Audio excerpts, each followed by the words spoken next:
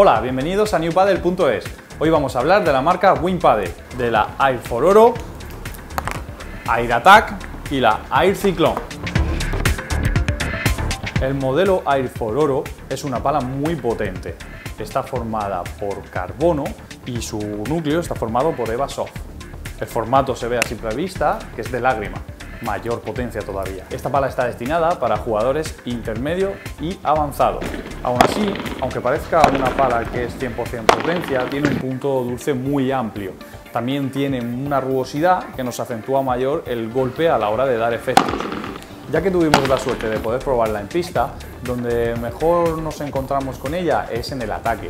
Eh, podemos ajustar bolas muy muy al máximo entre la línea, también podemos acabar puntos con mucha facilidad y la verdad que la potencia en el remate es donde más destaca. Ahora tengo en mis manos la Air Cyclone. Es una pala destinada para jugadores intermedios y avanzados. La pala tiene un formato redondo. Está formada por fibra de vidrio y el núcleo está formado por Eva Soft. Es una goma, es una goma muy absorbente. Podemos ver, si se aprecia a simple vista, que tiene rugosidad. La Wimpa del Air Cyclone es una pala de muy buen control. Está destinada para jugadores que buscan el máximo control en cada punto. La bola sale con un poco menos de velocidad, pero donde ganamos es en control. Entonces manejamos mayormente eh, cada golpeo, es decir, podemos colocar la bola donde nosotros queramos, al tener un punto dulce más amplio y mayor control.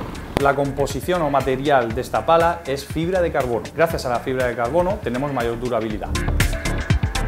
Vamos con la joya de WinPaddle. Tengo en mis manos la Air Attack. Esta pala está hecha exclusivamente para el jugador World Padel Tour Álvaro Cepero.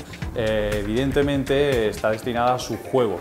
Él tiene un juego de derecha muy completo, es muy técnico y la verdad que donde notamos una mejora es que tenía más potencia. Entonces Álvaro Cepero ganó un poco más en potencia en cada golpe.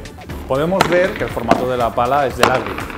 Su material es carbono 100% y la goma de su núcleo es goma EVA. Comparándola con las demás palas podemos decir que es una pala todoterreno. Bueno jugadores, espero que os haya gustado este review de estas palas y ya sabemos, tenemos una pala de control, tenemos una pala de potencia y una pala todoterreno. Si quieres saber más de las palas no olvides entrar en newpaddle.es.